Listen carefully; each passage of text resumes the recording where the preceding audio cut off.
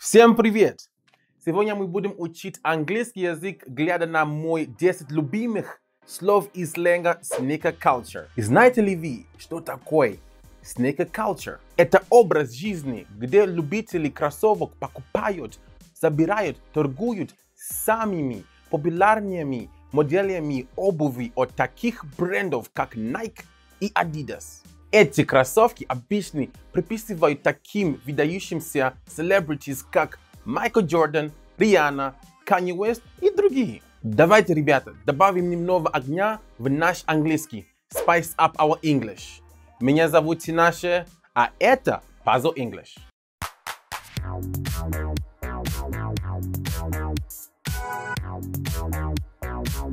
Number one. Sneakerhead. Это любитель кроссовок, который постоянно следит все, что происходит в мир кроссовок. Например, for the brand, sneakerheads are a very important demographic.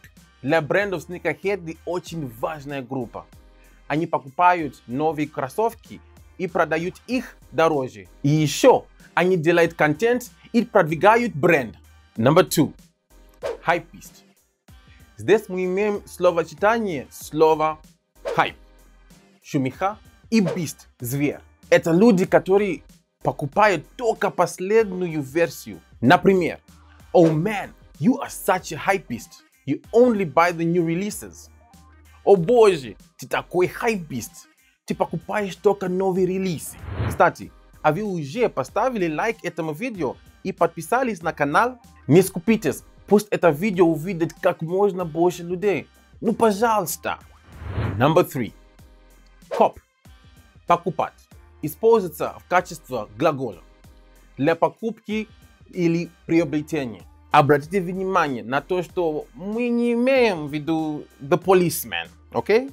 Hey bro, I like the kicks that you just copped, man. Hey bro, мне нравятся кроссовки, которые ты только что купил. Number four. Kicks. Обувь. Обратите внимание на тот факт, что здесь мы не имеем в виду kicks как удар.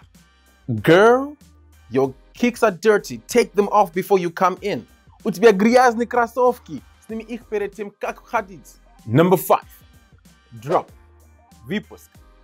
The Nike Kicks just dropped. Nike только что выпустили новый модель. Number six. W and L. W. Выигрыш, успешная покупка. Например, about those Nike drops, I just got a W. Кстати, о новой модели Nike я тут удачно закупился. L. Ну, как epic fail. Потеря. Невозможно приобрести. Если все не прошло по плану. Ну, можно так сказать. About those Nike drops, I just got an L. Я не мог купить новые кроссовки Nike. Number seven. Crispy Clean. Чистый. Да, я знаю, что crispy означает хрустящий. Ну, как лейз, крекеры. Но в мире кроссовок это означает, что ваши кроссовки самые чистые. Number eight. Colorway.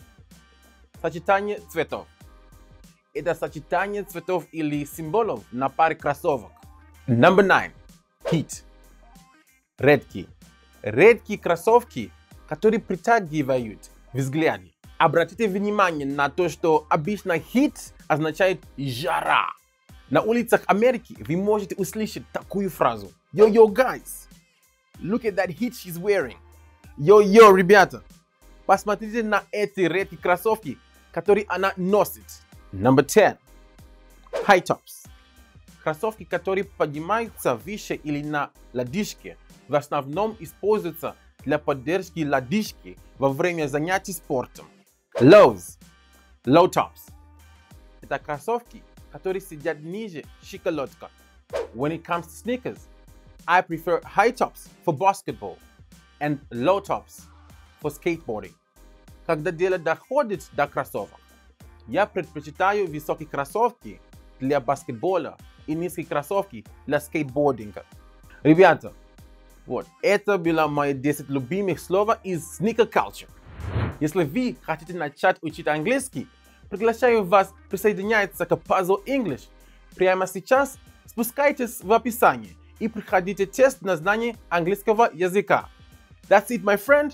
See you. Goodbye.